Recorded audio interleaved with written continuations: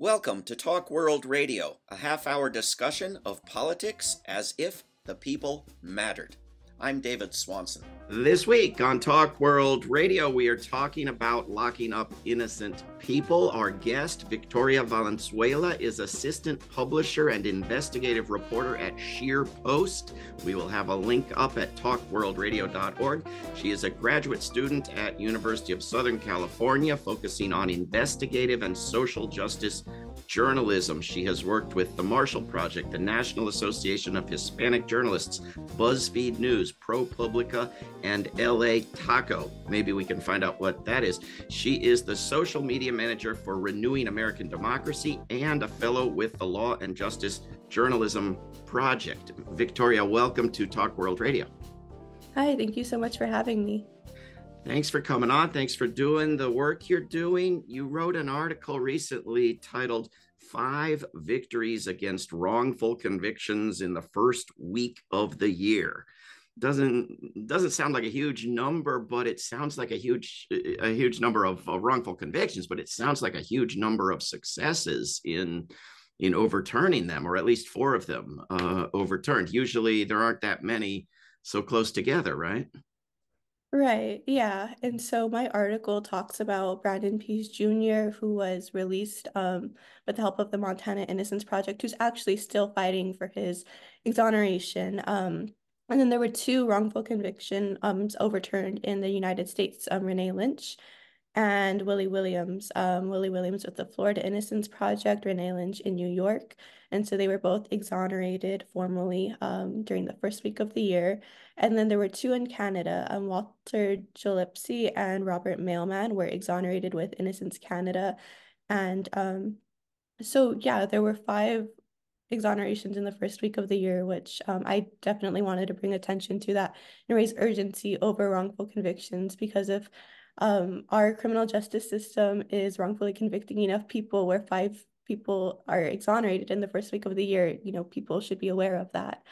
Um, and now all of these people are out of prison. But if you were to total all of the years that they spent locked away for something that they didn't do, it would total to 191 years that they spent away from home.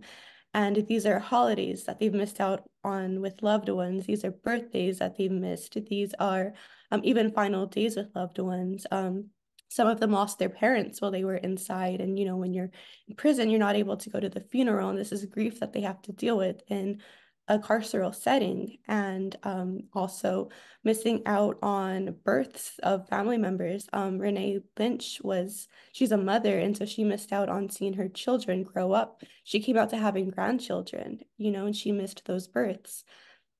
And so there's a very big human impact to this too um, of wrongful convictions. And it wasn't caused by anything that they did. This is all from systematic flaws in the legal system. And um, these flaws continue to exist. You know, the main causes of wrongful conviction are um, faulty forensic testing, uh, mistaken identification, incentivized witnesses, um, coerced confessions, and official misconduct. And a lot of these things, um, this is what you see in a lot of these cases. They're all systematic flaws. And um, every person that I mentioned in this article maintained their innocence. They all you know, to the court, to the jury, said that they were innocent post conviction. They maintained their innocence, and um, the legal system continued to convict them. And, um, you know, there's been over 3,400 exonerations in the United States since 1989. And so, um, you know, there this is happening quite often. And part of the reason since 1989 is because of the availability of DNA testing before that period of time there wasn't a lot of DNA testing available. This is like a relatively new science. Um, so people are able to get exonerated um, from this. But, um, you know, sometimes this even goes to death row. There's about 196 um, death row exonerations. And so you can see like there's a big human impact of this and it's um, you know, something that our legal system doesn't always correct. It requires someone like the Innocence Project, who's a nonprofit organization of um, attorneys who go and they help um, people who are wrongfully convicted who don't have access to um, be able to pay for somebody to um, exonerate them. You know, like they don't really have any options, their appeals aren't working. So the Innocence Project steps in and they help them, you know. So it's not the legal system correcting these flaws, it's the Innocence Project who's doing this. Yeah, it it seems like there was a real growth in these because of DNA testing uh, improving and being able to go back in those in that tiny fraction of cases to where there was any evidence to test for DNA uh, and test the old evidence with DNA. But it seems like in these five, I mean, there's one uh where they tested a hair but it wasn't even a human hair it was a cat hair like this was not super advanced science necessary. Um, and the others, one was somebody had been had been hypnotized to confess. One was a, a witness had been bribed, and the other one there was a false witness, a false convict, uh, convict uh, confession, mm-hmm. and there was exonerating fingerprint evidence that was hidden by the prosecution. So these these don't seem like I, I mean are it is are the types of exonerations expanding beyond beyond DNA testing to other types of of exonerations or what what's happening here? Um, well, you know, there is outside of DNA evidence, there is also um, false confessions um, or false um, when a witness makes a false testimony against somebody and you can see that in the case of um, Walter Gillespie and Robert Mailman. Um, they were convicted. There was no physical evidence linking them to the crime. It was solely on the um, testimony of two individuals. One of them was given $400. The other one was um, given from a life sentence 13 years. So they were given a smaller sentence. And so um, later, after this conviction happened, um, those two witnesses actually confessed that they were pressured by police to say what they said. Um, so yes, they recanted their statement. And so that's also like another way that wrongful convictions can get overturned. So it's not always DNA testing. Um, a lot of it can also be um, when a witness um, makes a false testimony and then they decide later to um, to confess that that wasn't really true. Yeah. As far as I understand, unlike a lot of countries, it's legal in the US for police and prosecutors to use testimony from uh, an imprisoned witness who's been offered, you know, a, a reduced sentence or other incentives. Um, so I don't know if that's a crime, uh, but none of these seem like honest mistakes. I, I mean, these all seem like someone intentionally did wrong here, resulting in people spending years and years locked up. It, it, it, are there ever any consequences for the people responsible? When uh, I mean, I understand a, a, government can be compelled to pay some sort of restitution. Here are some dollars for having taken half your life away. But are there ever any consequences for the people who've done it? Um, well, I know that there is the Brady violation that um, I believe if a prosecutor makes a mistake in a case, like if there's some misconduct, then other cases should also be investigated to see if there's also misconduct in those. Um, but as far as um, like punishment, I'm not too sure on that. But I do agree with you. Um, I think having jailhouse informants is really unethical because you have these people who um, are also like facing big sentences in prison and they um, are vulnerable you know like they're in a desperate situation where they want to get out and so you're kind of manipulating them to make these statements to get another conviction. And um, also as far as official misconduct you don't accidentally hide fingerprint evidence.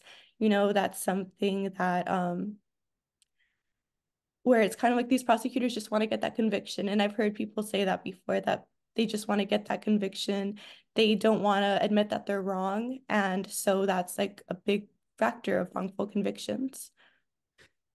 And on top of all the harm done to the innocent person locked up, there's also whatever harm you believe there is in letting some guilty person go free, uh, as well as in deceiving uh, the public, including the victims' families and so forth, who are in some cases understood to care deeply about uh, the outcome of the case, uh, they're forced decades later to understand that they've been they've been lied to, right?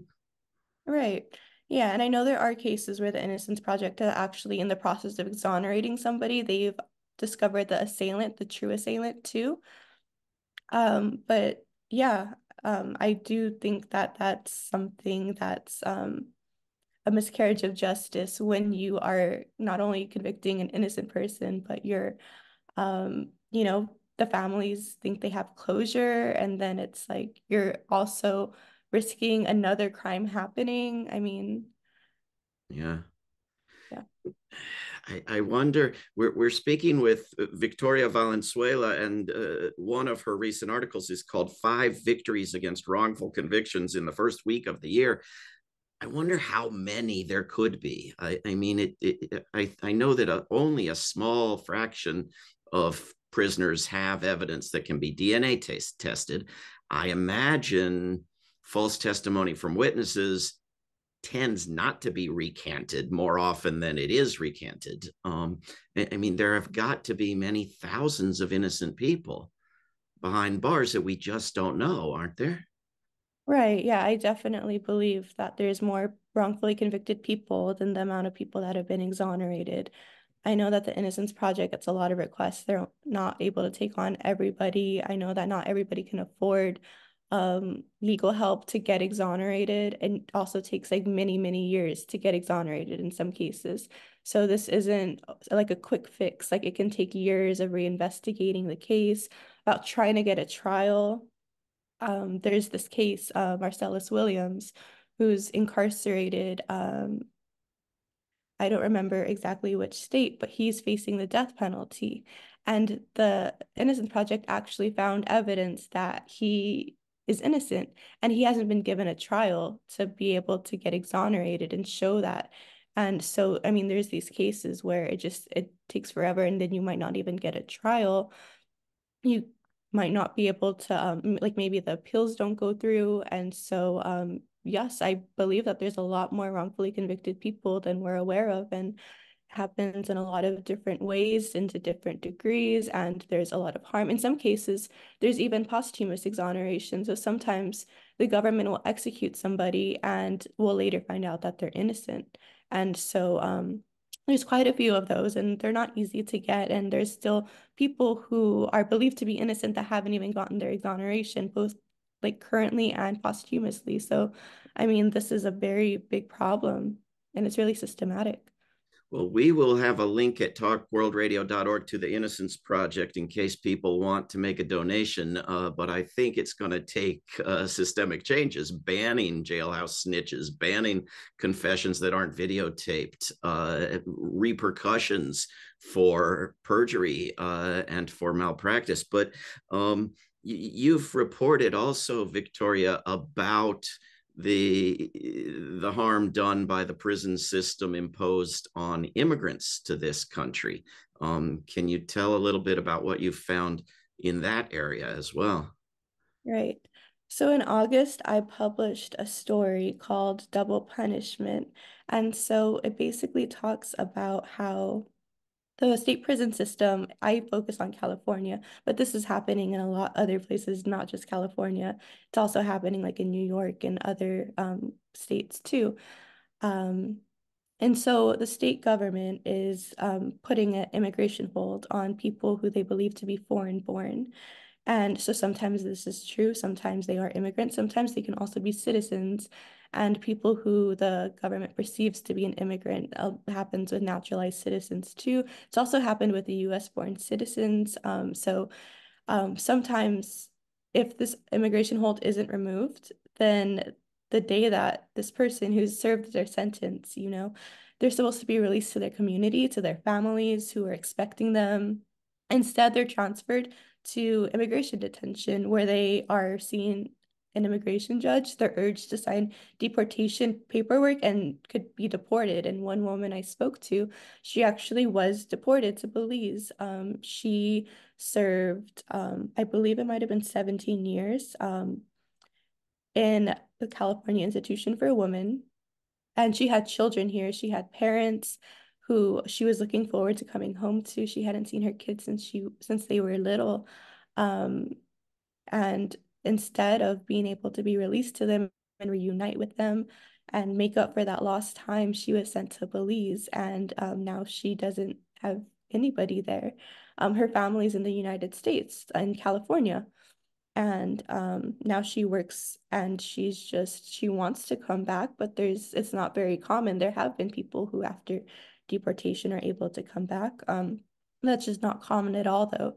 And there was um, citizens who have also been caught up in the system who, even though they're a United States citizen and they have their paperwork, the state prison system just doesn't listen to them when they tell them I'm a citizen. I shouldn't have this immigration hold on me, you know? And so um, they fight for this, but it's just not resolved until um, closer to their sentence ending if it's resolved at all. And so for that entire, you know, over a decade, just like many, many years, they're concerned that they're going to face um, an immigration hold.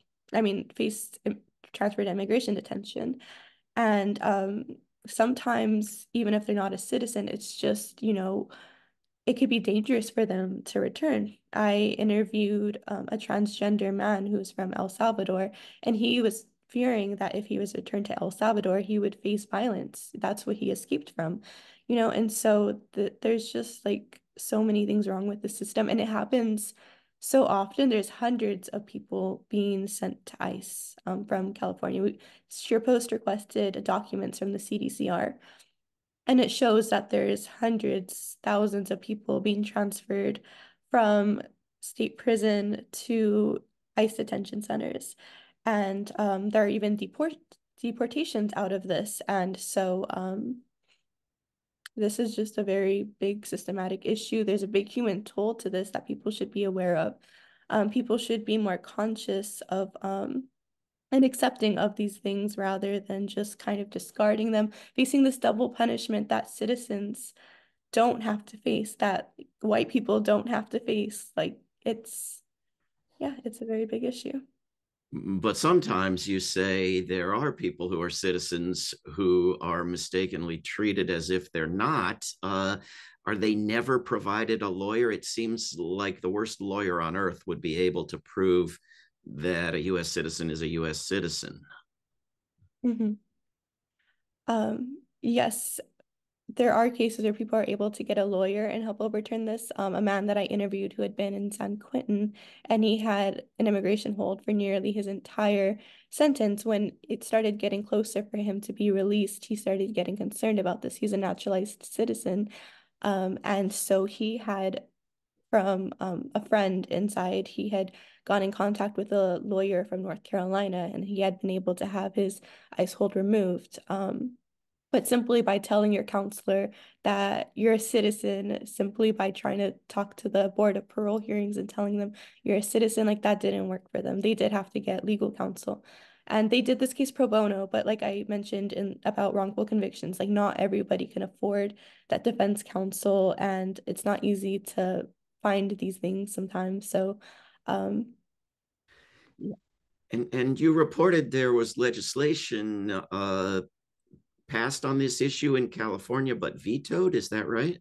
Right. Yes. So the Home Act was introduced by Wendy Carrillo, and this was earlier in the year 2023. Um, and this was passed through House and through Senate. It had no opposition, and um, Governor Newsom vetoed it. And this would have um, prevented ICE and the state prison system from cooperating, it would have prevented CDCR from sending people to ICE after they're supposed to be released. And it only would have applied to a narrow category of people. It would have only applied to people who are benefiting from existing um, sentencing reforms. So, for example, um, clemency, like clemency and um, like the the domestic violence law, where if you're convicted of um, defending yourself if you're a domestic violence survivor and you're convicted yeah. for that um then it would apply to that but it wouldn't apply to like many other cases and so it was a very narrow law and even with those provisions it still was vetoed by governor newsom I, I'm afraid he wants to be president, and the more they want to be president, the worse they think they have to be.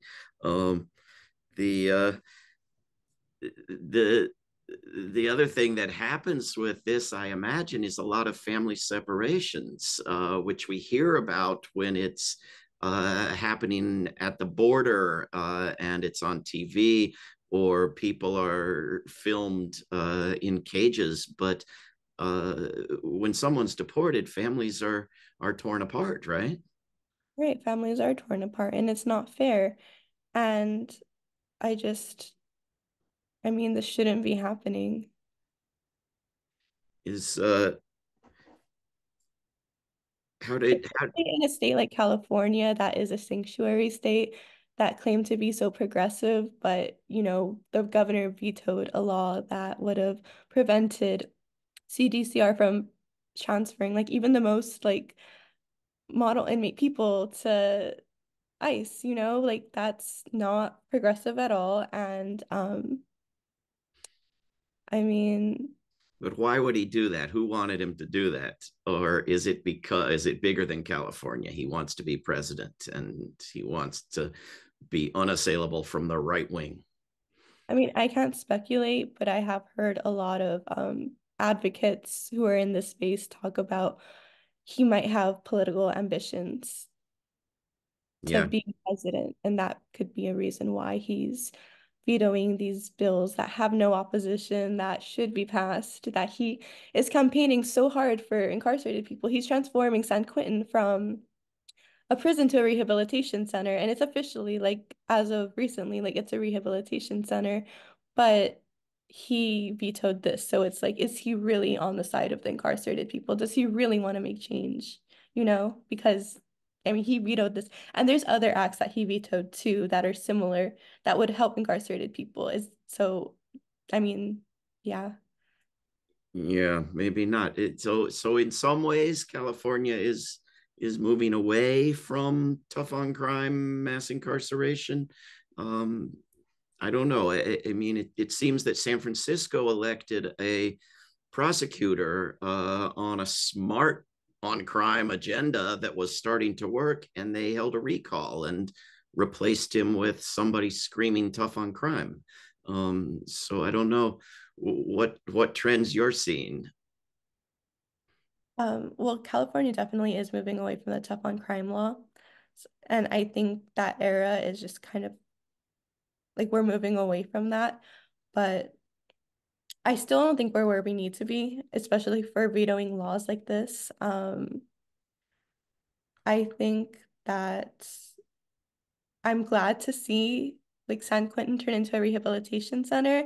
And I don't know if you've been able to see their reimagining plan for San Quentin, but it's very progressive. Um, it recommends that in visitation rooms, people have cubicles because aside from that you're just in like a giant cafeteria room where everybody can see each other. You're trying to like connect with your family because that's the only way you can like connect with your family in person. But you're like staring at like a hundred other people. Um there's also um single cells being proposed.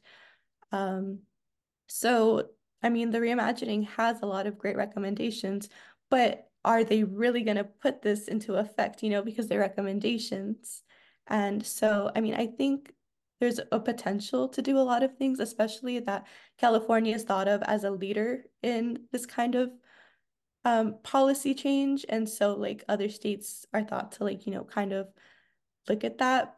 But we need to be able to actually do these things, not say that we're going to do them and not just like put up a shiny new sign in front of San Quentin and say that we're progressive. Like, we need to actually be doing the change and, and actually reducing incarceration. Um, uh, Victoria Valenzuela, you've also reported on the death penalty, uh, where uh, California is ahead of much of this country, um, although the, most of the world is ahead of, of part of this country. What what have you what news have you been reporting on regarding the death penalty? Well, yes, the death penalty still is very much around in the United States. Even though California has a moratorium on the death penalty, it is still here. Um, there's a new governor, they can always reverse it. And so, um, I mean, there's a lot of other countries that have already abolished the death penalty. There's a big movement in the United States to abolish the death penalty. Um, I'm not sure if you've seen but there is actually somebody scheduled to be executed on Thursday. It would be the first um, nitrogen gas execution in the country. And to me, that's not a step forward, that's a step backwards because we're about to execute this man with that with gas that's never been tested before, with gas that veterinarians don't even use on animals because it's so horrible. And we're gonna use that on people. And that's, I mean, that's a huge step backwards. You know, there's a call to end the death penalty, but California has a huge um a huge death row population and um, there's been like I mentioned before like 196 death penalty exoneration so there's also people who are innocent that are getting sentenced to the death penalty um, there are people who are innocent that are executed with the posthumous exonerations that I mentioned before. Like it shouldn't be allowed. And then you think about like the human toll, like that's devastating for the families who have to survive them. I'm actually working on a story right now about a daughter who survived her father who was executed by the death penalty. And it's just heartbreaking. It's like these are people who have they have families, they have memories, they have shared intimate moments together and for the government to murder them with legal homicide like that is insane. It is insane and most of the world is past it and much of the united states is past it and even in recent years state after state is getting rid of it. Uh, is there we, we've just got a couple minutes left. Is there any effort uh, to to legally ban it beyond just a moratorium in, in California? And and if there is, will it get vetoed? Um, I'm not quite sure on that, but I know that there are organizations that like they create petitions for every single person who's on death row who's facing an execution. So, I mean, if people are looking to get involved to stop these things, they can get involved in that way. And um, yeah, I I'm trying to think about what else I can say about this because I have so many thoughts on the death penalty. It's just I look... it's really go ahead. No, I'm sorry. What were you gonna say? I will look forward to reading your your next article on this topic. Um, but we we've got just a minute left. Victoria Valenzuela, where can people go to find your work and keep up with what you're writing about going forward? Yeah, check out scheerpost.com and that's where you'll find me, um, along with a lot of other great stories that we do. We also focus a lot on criminal justice. So it's not just me. We have a wrongful convictions beat basically dedicated to sustaining a sense of urgency around wrongful convictions and exonerations and just like really holding the criminal justice system to account because these things are really impacting a lot of people and you know, it's systematic flaws that continue to exist. And um, yeah, this it's it's really concerning. Well, I'm glad you're on the job. And ScheerPost, I believe, is named for Robert Scheer and is spelled S C H E E R Post.com. Uh, Victoria Valenzuela, thank you very, very much for coming on Talk World Radio. Thank you so much for having me. This is Talk World Radio. I'm David Swanson. Take action at rootsaction.org. Help end war at worldbeyondwar.org. Read or listen to today's Peace Almanac entry at peacealmanac.org. All past shows can be heard at talkworldradio.org. Talk World Radio is produced in Charlottesville, Virginia, and syndicated by Pacifica Network. There is no way to peace Peace is the way.